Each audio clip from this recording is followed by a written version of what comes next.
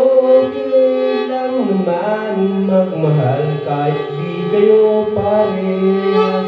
Na ang pagkatao Huwag mo naman abusuin at bubugin. Respetuhin mo naman bakit mo bigla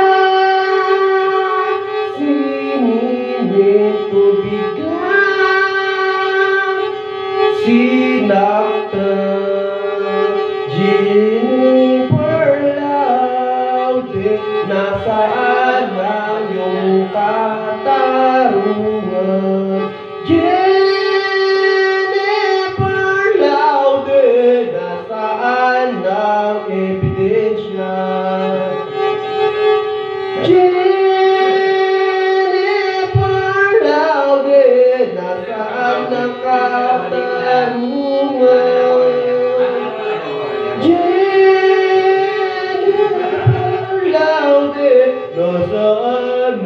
ang ebidensya?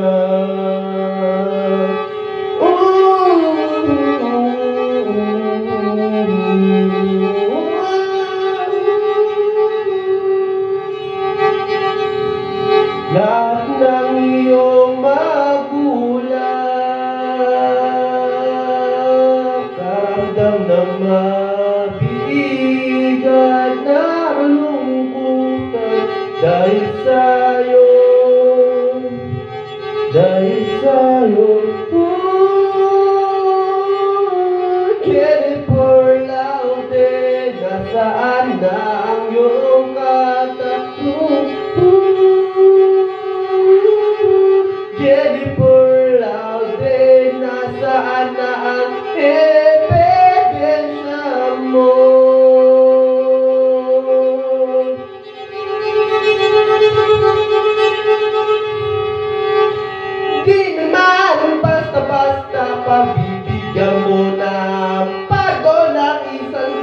na walang ginawa kasala.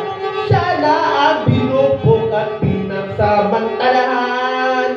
Siya na ang nabuso, bakit gano'n pa rin tayo sa kanakono? Jennifer Laude, nasa